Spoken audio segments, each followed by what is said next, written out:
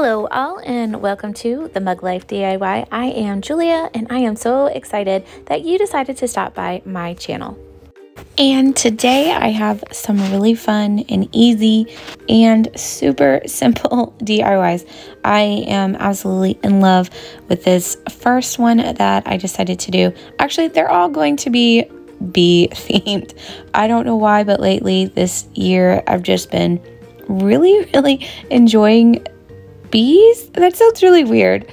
Um, but just the part and aspect of what bees do or represent um, a sense of newness and um, a refresh. I don't know. Like bees have been a kind of just, they make me super happy. So, this little sign I hauled several months ago. It was, I believe, a Pioneer Woman and it was like summer and then I got it for the fall and I don't even think I paid a dollar for it. It's a really thick wooden sign and I just knew I loved the shape and I could repurpose it into something really fun and different. Now, I had to sand. I actually did break out my real sander other than this little hand sander and this was the end result when I actually used my orbital sander. Then, after I completely sanded off all of that paper, I did uh, probably a full one, maybe two coats of my white chalk paint. I am not liking this paint. I don't know if you guys have tried it. It's the Walmart brand. I don't know. Just wasn't a fan of it. then I painted the outside trim that was red into a black. I really wanted a high contrast kind of look going. And then, of course, my favorite step I love painting the outside of signs. I feel like it really elevates the piece and steps up just the overall look of it. Now, this little metal bee guy, I don't even know, is from the Dollar Tree in the garden section. And I knew I just wanted to brighten it up but also darken it at the same time. So I wanted a more traditional yellow and black color scheme, and I think I changed this bee several times, but you know, I love painting, and this was very relaxing to me and really a refreshing time that I just got to be creative and I had a lot of fun painting it. So I did several different colors, just kind of fiddling with how I wanted the bee to look. I added several different layers to my piece just to kind of, I don't know, make the piece look more real. No, I don't even, it's not even realistic, but just a look that I was going for. I don't even know what I'm saying. I'm just rambling, y'all. And I just kind of kept painting, and I didn't like how flat it was looking. So I did go back with this really fun shimmering color. It's a really fine glitter paint.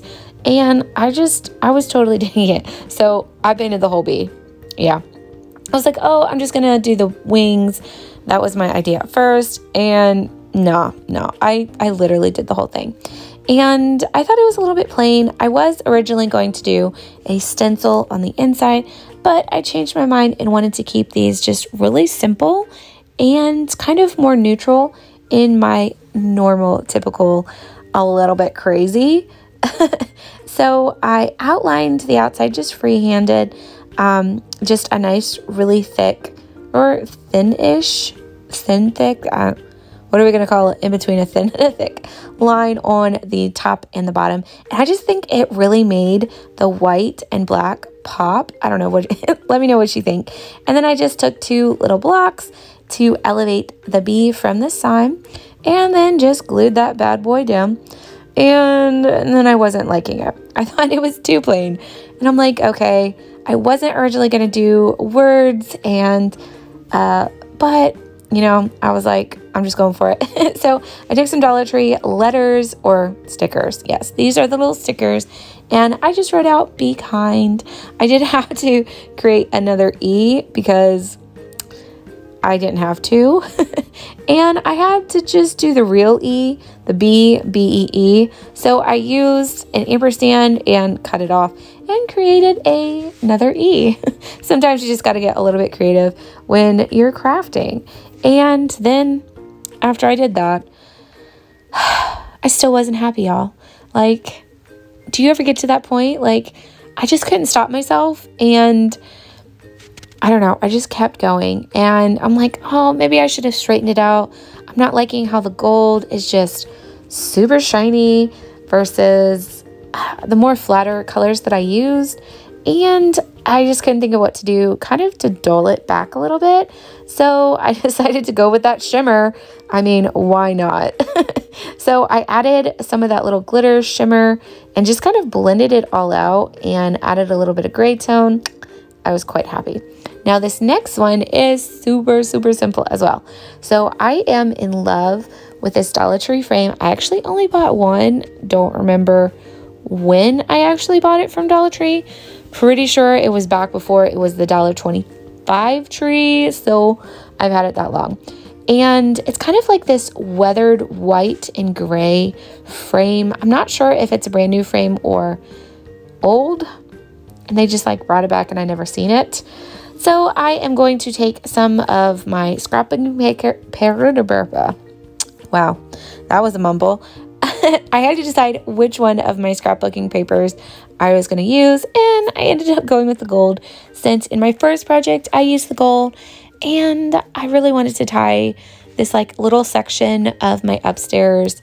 I have this really gorgeous secretary that I wanted to decorate, so I decided to go with the gold one. Um, it kind of reminded me of a beehive, but not entirely, not the beehive shape, but it was kind of like a little bit of a throwback. I don't know. I don't sometimes I'm just like trying to explain my thought processing process processing when I'm crafting is like always just a mumble of hotness, hot messness. Oh wow, see? Here we go again. And then I just glue that bad boy down. Now, I don't know if you guys noticed, that is also from Dollar Tree. It is part of the little spring section. It came with several little pieces, which I want to craft with later on, and I didn't do anything to it, so that was kind of fun, easy. And I took three of these little Dollar Tree mirror signs, and I have been wanting to do this, y'all, for so long. like how easy of a project this is, and I just have never done it. So I'm like, Beehive, going for it. I took three of them and I'm just going to create a larger mirror. I thought it would really centralize and kind of focus my pieces together. So I just hot glued all of those pieces on. Now, I would probably recommend using super glue um, to do the three pieces together. Uh, it just didn't quite fit as seamlessly as I wanted. So, not quite sure how to remedy, remedy that other than just to recommend to y'all. Definitely try, if you're going to do this, recreate this project, to use super glue and see if that helps adhere the pieces or maybe take the mirrors out while you're gluing them and maybe use clamps. I don't know. I'm kind of thinking through that process of what would make it just a little bit closer together. That's my idea. But here they end up. I like I said, I'm so in love with just the simplicity of these projects. I hope you guys get lots of inspirations. Let me know if you love like the bees. I don't know. I'm not quite sure if bees remind me of spring or summer or both. I just oh, they make me so happy and I'm in love with my, with my little corner. I want to do more. I want to do like a front wreath and I don't know, make some more bee decorations.